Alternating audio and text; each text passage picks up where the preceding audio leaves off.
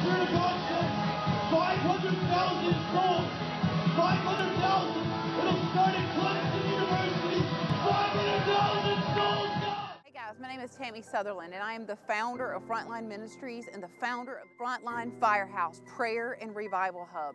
I'm standing here on Clemson University's campus because we are believing that God is about to shake this campus and rattle this region with revival fire. There have been students that have been crying out for the past year for God to build a place that would um, birth revival, a place where they could come to pray and worship 24 7. So we're coming here, we're housing the presence of God, and we believe that what the Lord has said is true, and we are going to see revival birth in and out of this place. If I had to think of one word that I walked in for the majority of my life, it was probably powerlessness. You know, as a Christian, it's really easy to think that you got everything together, but um, I didn't realize how much I wrestled with identity. I came into this ministry extremely hurt by church and serving in church. Coming into this firehouse, this prayer house, this ministry, I was so intimidated the first time I met Tammie. I just had a hard time breaking out of the, the cave to come forth to what God was calling me into and the anointing on my life. And Tammie, when I started traveling her, just really started to, to help me just realize the call of God on my life and the plan and purpose of God. And, and I'm just here to worship.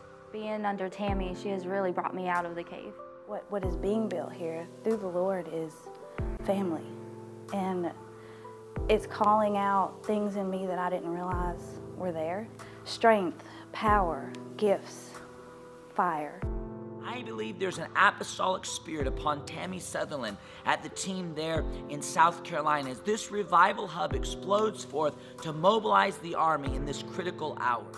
I'm so honored to be a part of the Firehouse Prayer and Revival Hub right on the campus of Clemson. There's a hunger for revival, a hunger for the and passion for the ways of God, a hunger for the biggest questions, the ultimate questions, what is worth giving my life to? It's being birthed in an atmosphere of prayer and revival that will sustain it unto the fullness of the age. We're excited for Azusa Now and the partnership with, with the call Azusa Now as well. We really want to see this, this hub of fire and revival rise up on Clemson University. I believe the Lord is speaking Isaiah 6 over the firehouse that it will be a place where the train of his robe fills this place and that students will come and community members will come and encounter his beauty and his majesty.